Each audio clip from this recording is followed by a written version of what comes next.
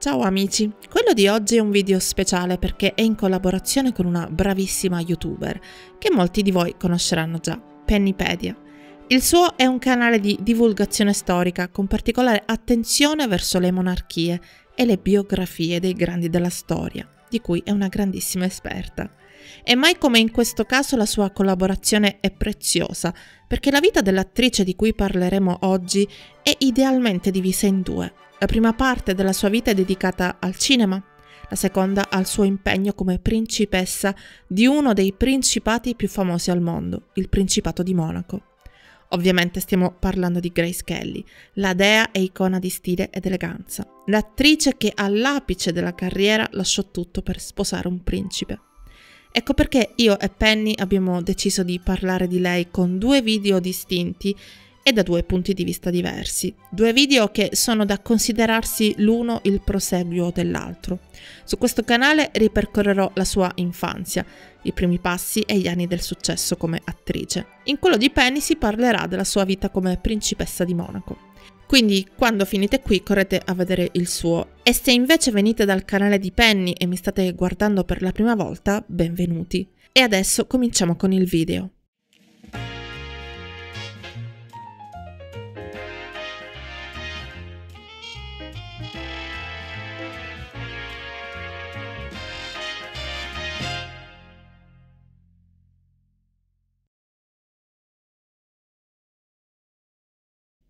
Grace Patricia Kelly nasce a Philadelphia, in Pennsylvania, il 12 novembre 1929, figlia terzogenita di John Brendan Kelly Sr. e Margaret Catherine Meyer.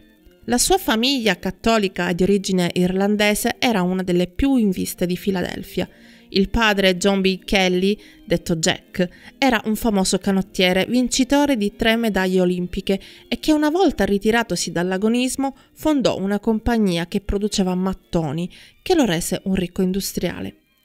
La madre Margaret, di origine tedesca, laureata in educazione fisica, era una docente universitaria e prima donna a coordinare le attività sportive delle ragazze del campus dell'Università di Filadelfia.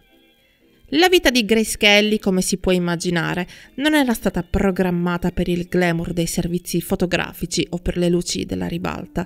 La sua era una delle famiglie più rispettabili della città e da lei ci si aspettava che perseguisse le orme dei genitori, che si laureasse, che debuttasse in società, si sposasse con un buon partito e avesse dei figli, come si conveniva alle brave ragazze dell'alta borghesia di Filadelfia, educate a essere mogli trofeo e se pensate che per il padre John le attrici erano solo donnacce di strada, potete immaginare quanto poco pensasse alla figlia come futura star di Hollywood.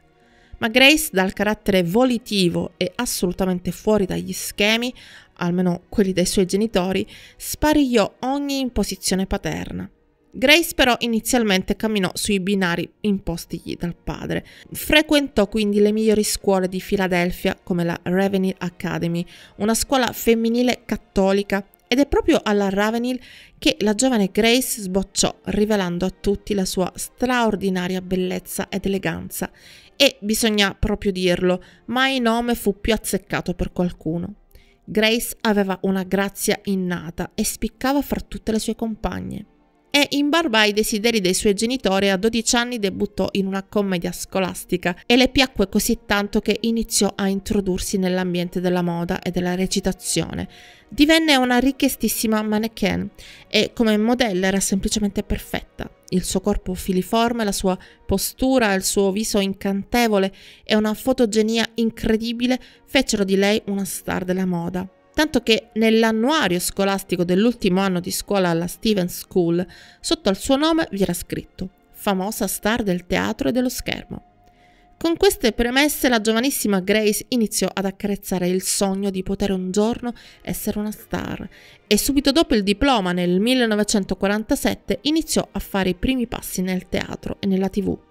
I suoi interessi erano sempre meno legati allo studio, tanto più che non venne accettata al Bennington College per i suoi scarsi punteggi in matematica, con grande, grandissimo disappunto del padre, che, come in ogni favola che si rispetti, era il suo più grande eroe. Un eroe però che la futura attrice non temette di scontentare pur di seguire i suoi sogni. non solo quello di diventare attrice, ma anche di sposare qualcuno che non era lontanamente nei canoni imposti dall'epoca. Appena diciottenne si innamorò follemente di un suo insegnante di recitazione, Don Richardson, all'epoca ventisettenne e già separato, seppur ufficialmente ancora sposato, e per giunta ebreo. I due iniziarono una appassionante relazione, talmente innamorati da presentarsi al cospetto dei genitori di lei per ufficializzare il loro fidanzamento, che ovviamente i genitori di Grace disapprovarono, sia perché era già stato sposato, sia perché non era cattolico. Secondo il libro Le bionde di Hitchcock di Lawrence Lamer, la relazione finì non solo per la disapprovazione dei genitori, ma anche perché la giovane Grace, per quanto innamorata, non era del tutto indifferente alle attenzioni maschili. Ad esempio, intrecciò una relazione parallela con il direttore del World of Astoria Hotel di New York, ma anche con una nostra vecchia conoscenza, il miliardario Ali Khan, sposato a un'altra diva di Hollywood, Rita Hayworth, di cui ho parlato in questo video. Io non ho idea se questo libro sia un tripudio di gossip senza fondamento, ma nel libro si racconta che una sera dopo una cena romantica con Richardson, Grace si sarebbe messa a sfoggiare una serie di abiti uno più bello dell'altro. Abiti che la ragazza non avrebbe potuto permettersi visto l'appannaggio che le passava il padre, ma a colpire Richardson fu soprattutto un bracciale di smeraldi e sempre nel libro si dice che l'uomo capì subito che c'era di mezzo Ali Khan, famoso per regalare bracciali di smeraldi alle sue amanti. Richardson, inferocito, avrebbe strappato il bracciale dal polso della fidanzata e lo avrebbe gettato dentro un acquario, mettendo fine alla relazione. Questo avveniva nel 1949, ma tornando alla sua carriera nel 1947 firmò un contratto con una delle agenzie di moda più famose d'America, la Walter Thornton Model Agency, con cui verrà lanciata nell'Olimpo della moda. Il suo vero lascia passare per Hollywood. Nel 1949 riuscì ad entrare all'American Academy of Dramatic Arts di New York grazie a un monologo tratto da un dramma di George Kelly, zio dell'attrice e vincitore di un premio Pulitzer come drammaturgo e che le fu di grande sostegno per entrare nell'establishment di New York, oltre che diventare il suo mentore. Debuttò a Broadway nel dramma Il padre di John Strindberg. Fu un periodo molto bello per Grace, stava vivendo il suo sogno, ma a differenza dei suoi compagni di studio non doveva vivere in una stamberga piena di muffa e topi, neanche in un bel appartamento sulla quinta strada. Il padre infatti le impose di vivere in un dormitorio femminile di lusso, l'Hotel Barbizon a Manhattan. Nel frattempo continuava a lavorare come modella, ma non solo. Era impegnata anche in diverse produzioni televisive e teatrali, quella che si dice una vera gavetta, che le diede una grandissima sicurezza davanti alla macchina da presa. Interpretò moltissimi ruoli dei vari sceneggiati che andavano in onda e piano piano il suo nome si fece strada fra moltissimi altri nomi di attori e attrici in cerca di un posto al sole come lei. Ben presto si rese conto che più del teatro ad attirarla maggiormente era la macchina da presa, le luci, in una parola il cinema. E in effetti un viso come quello di Grace Kelly sembrava proprio fatto per il cinema più che per il teatro e per quanto amasse il palcoscenico non aveva la presenza scenica giusta, né la voce che avrebbe dovuto avere un'attrice di teatro. Esordì al cinema nel 1951 in un piccolo ruolo nel film La quattordicesima ora, prodotto dalla 20th Century Fox. A contendersi il ruolo un'altra giovanissima attrice in erba, Anne Bancroft, che però venne scartata. La parte di Grace era piccola e marginale e quasi nessuno si accorse di lei, però quell'unica scena mise in evidenza una sua caratteristica, la luce che riusciva a emanare il suo sguardo sognante. In questo film interpretava una vedova nello studio di un avvocato che guardava fuori da una finestra. Niente più che una scena, ma di grande grandissima intensità. Sul set Grace verrà notata però da un certo Gary Cooper, quello che sarà il suo partner sulla scena nel film successivo. E che film! Uno dei maggiori successi nella storia del western, Mezzogiorno di fuoco del 1952, diretto dal regista premio Oscar Fred Zinnemann. Sull'ingaggio della Kelly nel film ci sono due versioni. In una si dice che, che fu il produttore Stanley Kramer a volerla dopo averla vista in uno spettacolo di Broadway. Lei, così bionda, sofisticata, sembrava il perfetto prototipo della ragazza dei piani alti e la pensò al fianco di Gary Cooper nel ruolo di sua moglie. Un'altra versione voleva Cooper come l'artefice dell'ingaggio. Sarebbe stato lui a proporla ai produttori e a Zinneman, riuscendo a spuntarla, e non è difficile immaginarlo visto lo strapotere che Cooper aveva ad Hollywood. Comunque siano andate le cose, sta di fatto che Grace Kelly fu ritenuta perfetta come partner di Cooper, nonostante i 30 anni di differenza fra i due. 50 lui, appena 21 lei. Sul set si rumoreggiava di una loro relazione, ma nessun rumors venne mai confermato. Ma pare che Grace avesse preso una sbandata per Cooper. Ad ogni modo, il film aveva una tabella di marcia serratissima, 28 giorni appena, i ritmi serrati e il caldo soffocante della California resero la lavorazione piuttosto difficile, senza contare i contrasti fra Kramer e Carl Foreman, lo sceneggiatore, a quel tempo iscritto alla blacklist della NPA, l'Associazione per la conservazione degli ideali americani, con a capo l'attore americano simbolo del western, John Wayne.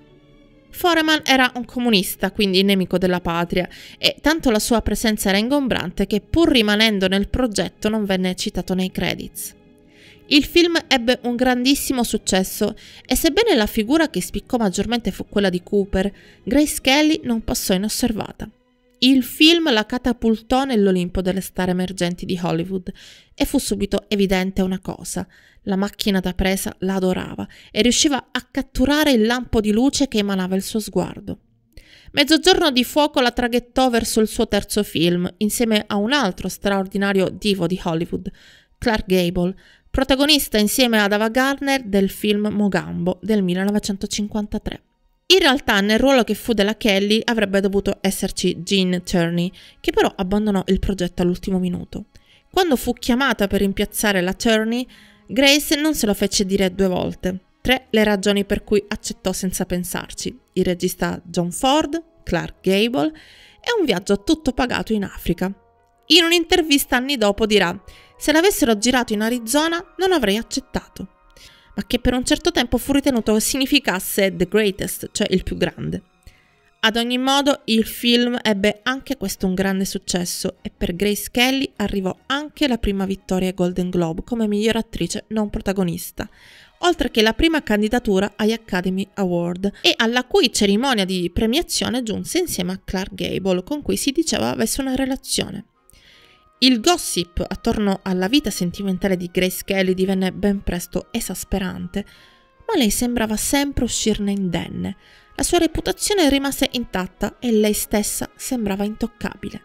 Anche se i pettegolezzi attorno alla sua vita amorosa non smetteranno mai. Si dice infatti che l'attrice intrattenesse relazioni con quasi tutti i suoi partner maschili.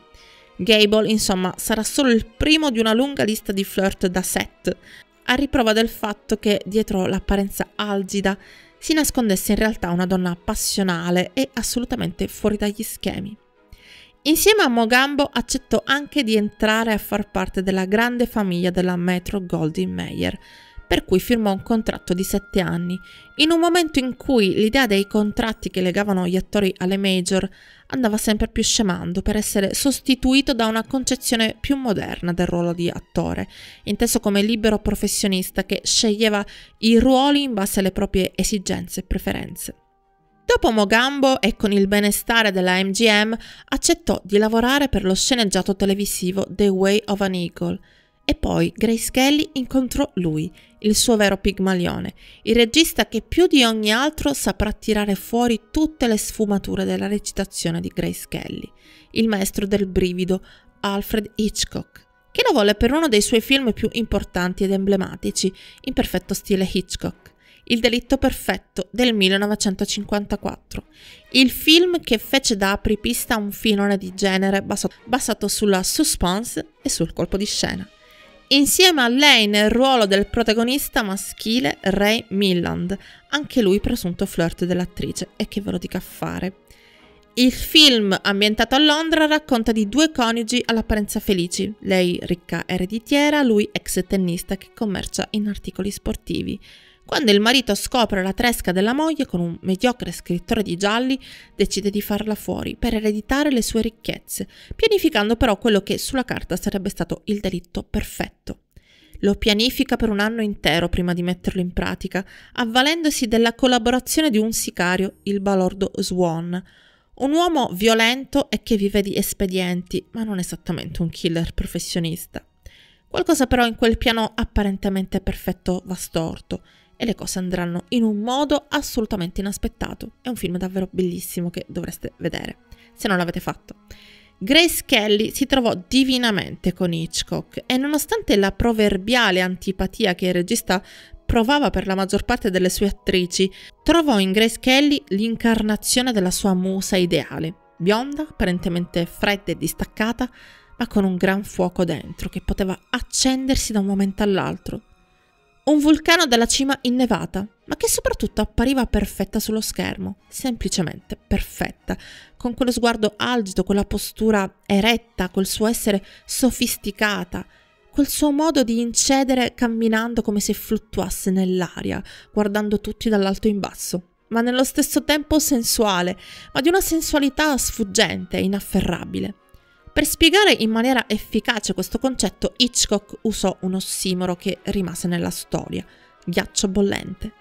Entrambi saranno fondamentali per la carriera dell'altro, ma sarà soprattutto il loro rapporto a rappresentare un unicum nella storia del cinema, due opposti che si attraevano, due anime gemelle connesse mentalmente e che si compensavano a vicenda, molto più che un mentore e un'allieva. E poi, vogliamo parlare degli abiti iconici indossati da Grace Kelly? L'abito rosso in pizzo, i cappellini completi in perfetto stile Grace Kelly, uno stile che diventerà iconico e inimitabile. Anche per i costumi Hitch seguì un preciso schema. Più la faccenda si faceva torbida e inquietante, più gli abiti di Grace Kelly si facevano austeri e scuri. Il sodalizio fra i due continuò con il film successivo, La finestra sul cortile, insieme a un altro attore feticcio di Hitch, James Stewart, nei panni di uno scrittore momentaneamente in sedia a rotelle, che passa le sue giornate annoiandosi in casa, fino a che non si procura un binocolo con il quale per ammazzare il tempo si metterà a spiare i suoi vicini che per il gran caldo tenevano le finestre spalancate. Un giorno però crederà di assistere a un omicidio un film che nella migliore tradizione hitchcockiana racconta di un intrigo, di un'ossessione, è ricco di colpi di scena e suspense. Grace Kelly recita nel ruolo della fidanzata di Stewart e pur di lavorare di nuovo per Hitchcock rinunciò a un ruolo nel film Fronte del Porto insieme a Marlon Brando.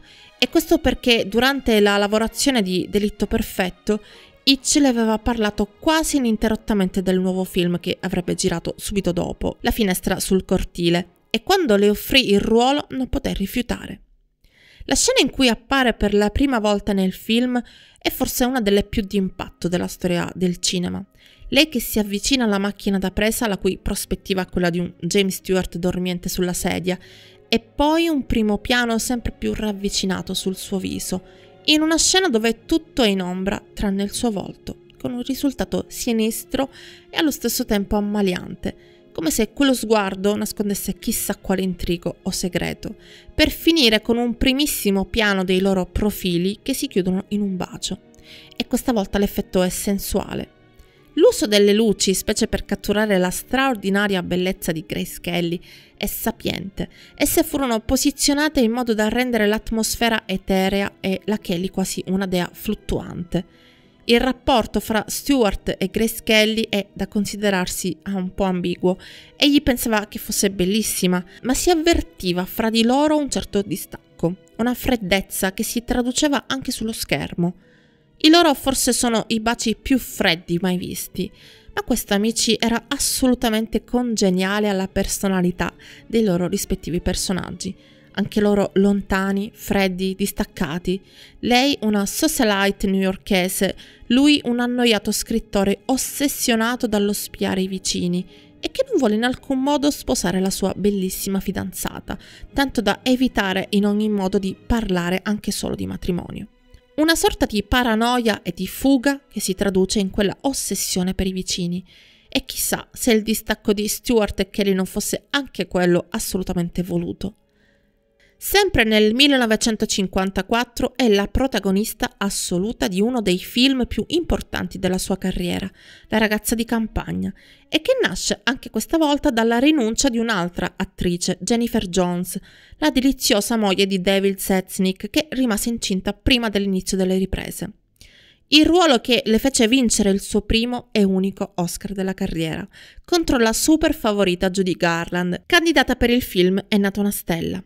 Al suo fianco Bing Crosby e William Holden.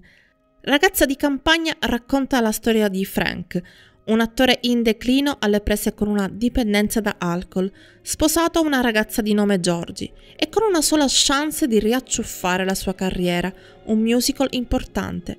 Ma il suo ingaggio è contrastato dal produttore che vede in Frank un uomo alcolizzato e completamente succube della moglie Georgie, una ragazza semplice e innamorata, una ragazza di campagna come da titolo, interpretato da Grace Kelly, che non capisce il mondo dello spettacolo e sembra voler contrastare la carriera del marito, ma non è così. I problemi di Frank e il suo terrore del palco sono ben più profondi e radicati e piano piano il produttore lo capisce e si lascia affascinare da Georgie, innescando una serie di situazioni drammatiche.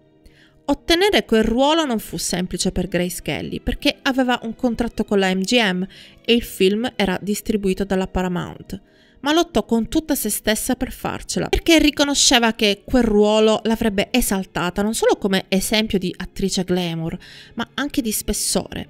Infatti Georgie è una ragazza per cui la moda, il glamour non significano assolutamente nulla. Georgie non si trucca, veste abiti semplici, la sua intera esistenza è semplice, sposata a un uomo alcolizzato e amante di un altro, lontanissimo da lei e dal suo mondo. Per Grace quel ruolo rappresentava una sfida a cui non voleva rinunciare, ma la MGM non voleva in nessun modo prestarla alla major concorrente e Grace Kelly sfoderò tutta la sua grinta e determinazione minacciando la major di strappare il contratto. E la MGM fece un passo indietro e lasciò che girasse il film il che la diceva lunga sul valore e sul potere di Grace Kelly sulla Major, tanto da cederla piuttosto che perderla. Grace Kelly, di una lungimiranza invidiabile, alla fine non solo ottenne il ruolo, mantenendo il contratto con la MGM, ma ebbe la proclamazione a stella indiscussa di Hollywood. La protagonista femminile per antonomasia, che in quell'anno magico che fu il 1954 girerà ben cinque film e otterrà un Oscar, e c'è un retroscena curioso dietro alla vittoria inaspettata di Grace Kelly. Sì, perché tutti pensavano che a vincerlo sarebbe stato la Garland, incantevole protagonista di È nata una stella, che in quel momento si trovava ricoverata in ospedale. Essendo, essendo, la favorita, i reporter e i fotoreporter erano lì davanti l'ingresso dell'ospedale per immortalare l'attrice vincente. Ma quando arrivò loro la soffiata che a vincere sarebbe stata la Kelly, smontarono baracche e burattini e corsero tutti all'Archeo Pantages Theatre, dove si svolgeva la cerimonia. Ma è il 1955 l'anno in cui tutto per l'attrice cambierà l'anno di Caccia al ladro, terzo e ultimo film con Hitchcock, e l'anno in cui conoscerà l'uomo del suo destino, colui che la renderà principessa di un piccolissimo principato nel cuore dell'Europa, il Principato di Monaco. Ma andiamo con ordine e partiamo da Caccia al ladro, girato in Costa Azzurra insieme al leading man per eccellenza, Cary Grant, di cui abbiamo parlato in un video.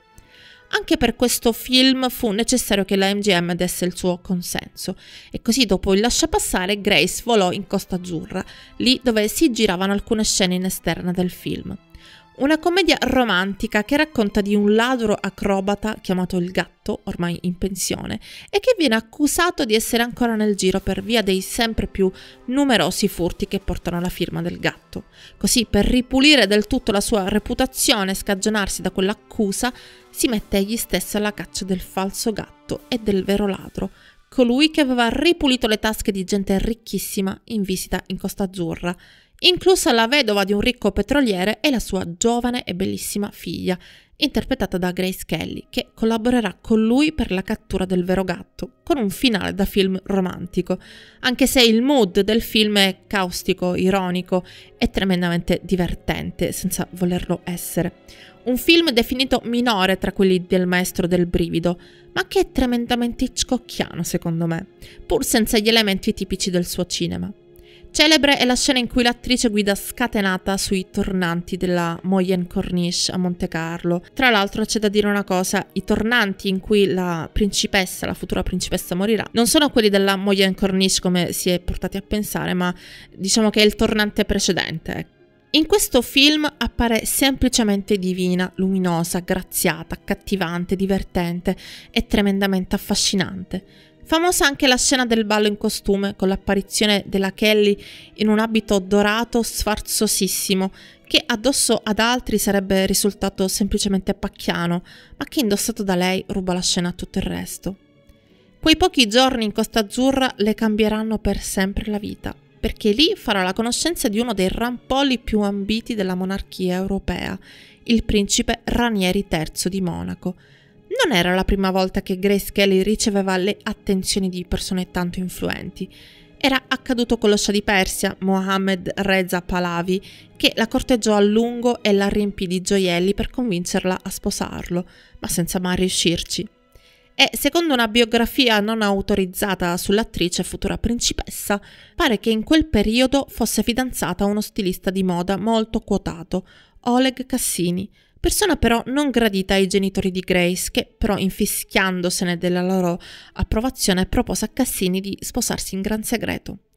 Poi però Grace si ammalò e dopo essersi ripresa, Oleg capì che i genitori avevano avuto la meglio sul volere della figlia. Mesi dopo Grace lo chiamerà per comunicargli che era in procinto di sposare Ranieri III, che nel 1955 aveva 33 anni e come ogni principe che si rispetti era in cerca di una moglie.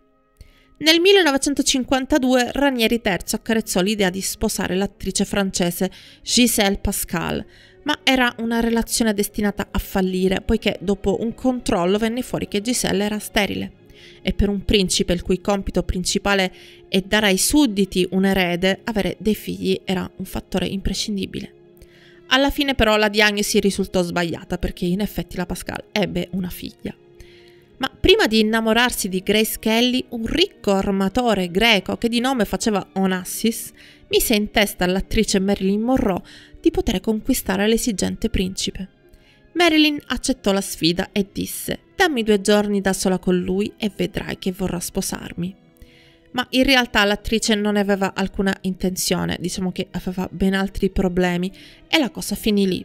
Ma perché il principe Ranieri voleva pescare nel forziere delle attrici di Hollywood?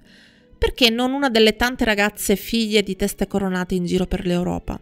Si dice che il motivo risiedesse nella decadenza in cui il principato era caduto negli ultimi anni e qualcuno suggerì lui che trovare una moglie famosa avrebbe riportato il principato ai vecchi fasti. Vero o no, non c'è dato saperlo. Grace e Ranieri III si incontrarono durante un servizio fotografico al Palazzo del Principato. Il resto non solo è storia, ma ve lo racconterà Penny nel suo video. Facciamo quindi un passo avanti e arriviamo al momento in cui Grace Kelly, fidanzata al principe Ranieri, deve anche, di contro, rinunciare alla sua carriera nel cinema. Ma per contratto le rimanevano due film ancora da girare e li girerà da promessa sposa e forse chissà con un po' di rimpianto per ciò a cui stava rinunciando a soli cinque anni dal suo debutto. Il primo di questi film è Il Cigno del 1956. Nel ruolo pensate un po' di una principessa europea al fianco di Alec Guinness e Louis Jordan. Nello stesso anno girò il suo ultimo film, quello che sancì la definitiva uscita dalle scene, all'apice della carriera, ad appena 27 anni. Il musical High Society insieme a Bing Crosby e Frank Sinatra, nel ruolo di Tracy Samantha Lord, contesa da due uomini e che in origine era stato pensato per Elizabeth Taylor, che però rifiutò.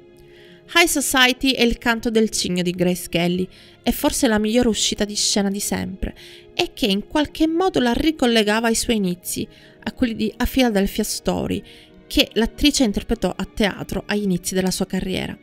Nel film, tra l'altro, l'attrice si diletta a cantare. In realtà la sua voce non fu ritenuta adatta e venne doppiata ma rimase intatta la magia di quell'ultima prova d'attrice prima di incamminarsi verso una navata e verso una nuova vita senza rimpianti, ma forse con un pizzico di nostalgia. E io, amici, vi lascio qui in questo mio racconto perché il resto della vita di questa straordinaria attrice, che come un fulmine ha solcato i cieli di Hollywood, ve la racconterà Penny nel suo canale Pennypedia. Da lei saprete il retroscena del suo fidanzamento e del suo matrimonio e saprete anche della sua tragica e prematura fine. Quindi vi lascio così e vi rimando al suo video, il cui link lo troverete nell'info box. Ovviamente se volete iscrivervi a questo canale e se venite dal canale di Penny volete iscrivervi al canale fatelo pure così non vi perderete le prossime biografie e se volete seguirmi anche su Instagram potete farlo alla pagina La Conta Storie e ci vediamo sempre qui a The Hollywood Boulevard. Ciao!